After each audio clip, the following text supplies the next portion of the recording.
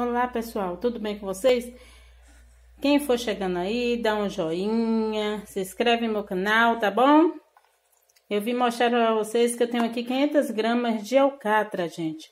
Já lavei, já higienizei bonitinha, só não tirei essa gordurinha aqui porque o que eu vou fazer, vou precisar dela. Então, eu comprei com osso, separei os ossos e coloquei separado. Agora, eu vou fazer uma carninha de sol, sabe como é que eu faço? Vou colocando um salzinho aqui, ó. Nunca mais comprei carne de sol, gente. Com três dias, essa carne tá ótima, ótima.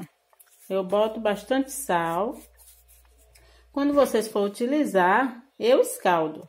E quiser tirar o sal, dar uma escaldadinha para fritar, tudo bem. Faço isso. Vou colocando, ó, nela todinha e deixo na geladeira na parte de baixo com três dias.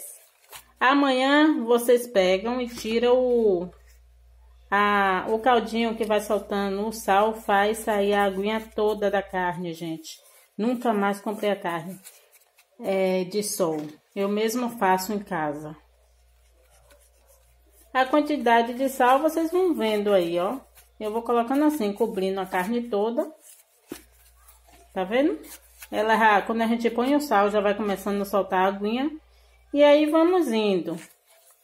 Aí eu já coloquei nessas duas partes, aí eu venho nessa outra aqui, de baixo que já caiu o sal da de cima. E ponho aqui, ó, na gordurinha. E vamos que vamos. Fica tão saboroso, gente, vocês nem imaginam. Nunca mais vocês vão fazer, vão comprar carne de sol.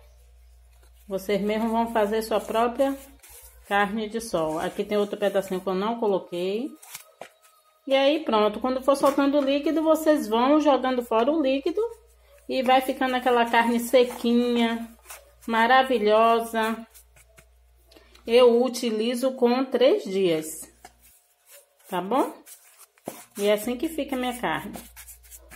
E aí eu reservo lá na geladeira, não fica ruim na parte de baixo, não precisa colocar no congelador para ela adquirir o processo de tirar